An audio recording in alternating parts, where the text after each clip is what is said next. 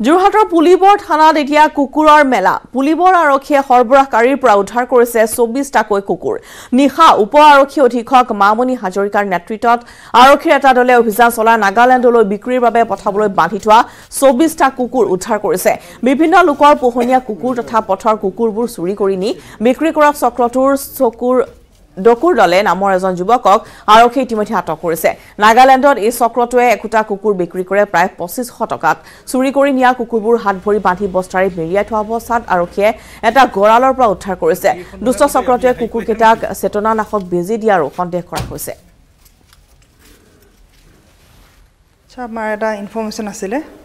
Information ইনফৰ্মেশ্যনটো পাই আমাৰ S P ছাৰৰ নিৰ্দেশ মৰ্মে আমি চৌগুৰি সেই ঠাইলৈ গ'লোঁ। গৈ পেলাই আমি তাত ট'টেল চৌবিছটা আমি লোকেল ব্ৰিডৰ কুকুৰ আমি ৰিকভাৰ কৰিছোঁ।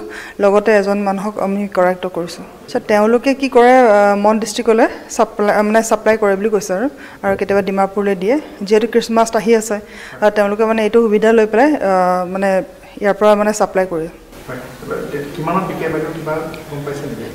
তেওঁলোকে মানে দুই এজনক সুধ- সুধিছিলোঁ। তেতিয়া তেওঁলোকে কৈছে যে এটা দুহেজাৰ আঢ়ৈ হাজাৰ তেনেকুৱাত বিক্ৰী কৰে তেওঁলোকে। হয়। তেখেতৰ নামটো হ'ল ডকুৰ দলে।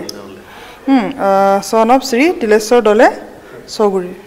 অঁ যোৰহাট ডিষ্ট্ৰিক্ট পৰা অঁ এই নেক্সাছটো আগৰ পৰা কেনেকৈ কৰি থকা আহ, তেওঁলোকে আগৰ পৰা কৰিছে বুলি কৈছে কিন্তু আমি ভাল ইনফৰ্মেশ্যন যেনেকৈ পালোঁ এতিয়া আজি গ'লোঁ নিজে আমি চৌবিছটা কুকুৰ আমি ৰিকভাৰ কৰিছোঁ লগতে আৰু এই মানুহজনক কৰাক্ট কৰিছোঁ। আৰু চ- যিমান পাৰোঁ আমি এইবোৰ মানে বন্ধ কৰিবলৈ চেষ্টা কৰিম আৰু। তেওঁলোকে মানে বৰ এটা বেয়া অৱস্থাত ৰাখিছে য'ত মানে হাত ভৰি বান্ধি থৈ দিছে বস্তাৰে মানে মেৰিয়াই থৈছে। আপোনালোকে চাগে দেখি- দেখা পাইছে তাত। সেই তেনেকৈ বেয়া অৱস্থাত ৰাখিছে মানে। আৰু পূৰ্বতে সৰ্বচাৰ আছে আমাৰ যোৰহাটৰ পৰা সাংবাদিক গৌতম বৰা। গৌতম আমি আপোনাৰ কাষলৈ আহিছোঁ। পুলিবৰ থানাত ইতিমধ্যে দেখিবলৈ পোৱা গৈছে যে চৌবিছটাকৈ কুকুৰ আৰু খ্ৰীষ্টমাছ আহি আছে। খ্ৰীষ্টমাছৰ প্ৰাকখনত এনেদৰে এতিয়া নাগালেণ্ডলৈ নিয়াৰ চেষ্টা কৰিছিল এটা দুষ্ট চক্ৰ। ইতিমধ্যে এগৰাকীক গ্ৰেপ্তাৰ কৰা হৈছে। সমগ্ৰ চক্ৰটো কেনেদৰে উৎখাত কৰা যাব বা কি অভিযান চলিছিল এই সন্দৰ্ভত আপোনাৰ পৰা অধিক আমি জানিব বিচাৰিম। হয়।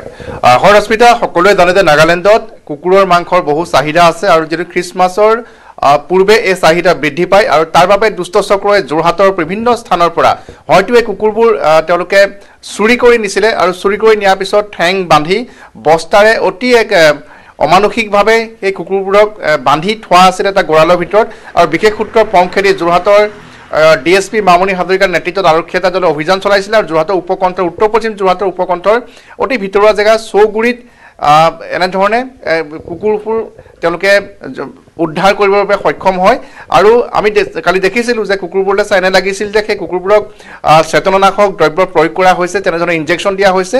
ইতিমধ্যে যোৰহাট আৰক্ষীৰ পুলিবৰ আৰক্ষীয়ে পশু চিকিৎসকৰ দলৰ সৈতে যোগাযোগ কৰিছে ঠিক সেইদৰে যোৰহাটতে এন জি অ'ৰ সৈতে যোগাযোগ কৰিছে আৰু আহ্বান জনাইছে যোৰহাটবাসীক যে যাৰ যাৰ ঘৰৰ পৰা বিগত কেইদিনত বিগত সময়ছোৱাত কুকুৰ চুৰি হৈছে তেওঁলোকে পুলিবৰ থানালৈ আহিব পাৰে কাৰণ পুলিবৰ থানা থানাতে চৌবিছটাকৈ কুকুৰ ইতিমধ্যে উদ্ধাৰ কৰি আনিছে আৰু তাৰ মাজত হয়তো সেই চুৰি হোৱা গৰাকীসকলৰ পৰিয়ালসমূহৰ কুকুৰবোৰো থাকিব পাৰে তেওঁলোকে থানাৰ পৰা উপযুক্ত প্ৰমাণ দি কুকুৰবোৰ লৈ যাব পাৰিব।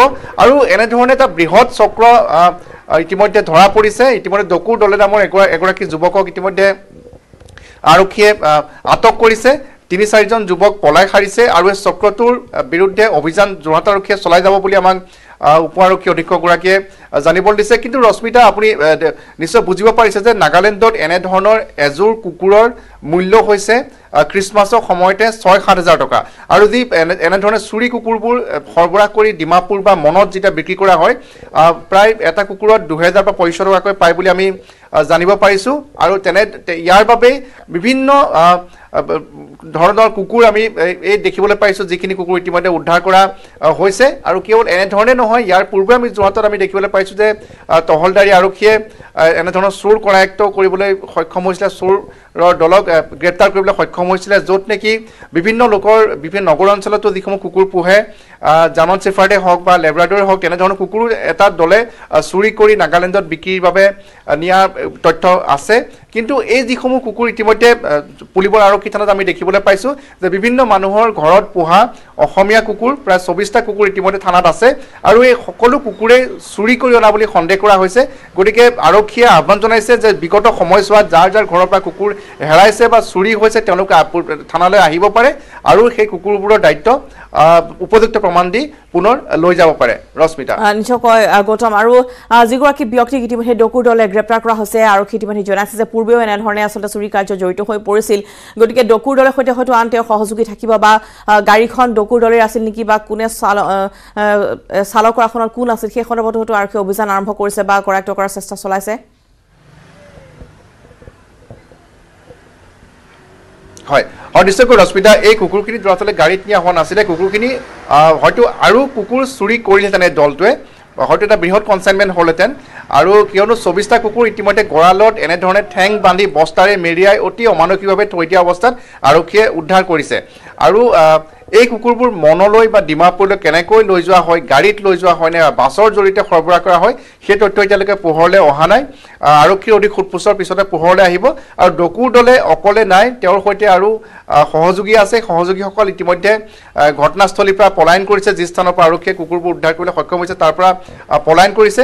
আৰু অধিক সোধপোছৰ কৰাৰ অন্তত অৰ্থাৎ ডকুৰ দলে ডকুৰ দলে অধিক সোধপোছ কৰিলে তেওঁৰ দলৰ সৈতে কোন কোন জড়িত হৈ আছে বা কুকুৰবোৰ ডিমাপুৰত ক'ত বিক্ৰী কৰা হয় বা মনৰ ক'ত বিক্ৰী কৰা হয় আৰু কি- কিহে কাৰ জৰিয়তে সৰবৰাহ কৰা হয় ইত্যাদি বিভিন্ন দিশসমূহ পোহৰলৈ আহিব।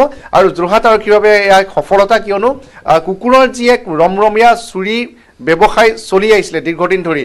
সেই এটা দলক ইতিমধ্যে যোৰহাট আৰক্ষীয়ে কৰায়ত্ব কৰিবলৈ সক্ষম হৈছে আৰু বৃহৎ পৰিমাণে কুকুৰ উদ্ধাৰ কৰিবলৈ সক্ষম হৈছে। মই পুনৰবাৰ জনাব বিচাৰিছোঁ নিজ দিন অসম নৰ্থ ইষ্টৰ জৰিয়তে দৰ্শকসকলক যে বিগত কেইদিনত যাৰ যাৰ ঘৰৰ পৰা কুকুৰ চুৰি হৈছে বা হেৰাইছে তেওঁলোকে পুলিবৰ থানালৈ আহিব পাৰে। তাতে চৌবিছটাকৈ কুকুৰ আছে তাৰ মাজত হয়তো আপোনালোকৰ ঘৰৰ পৰা হেৰুৱা কুকুৰটো থাকিব পাৰে।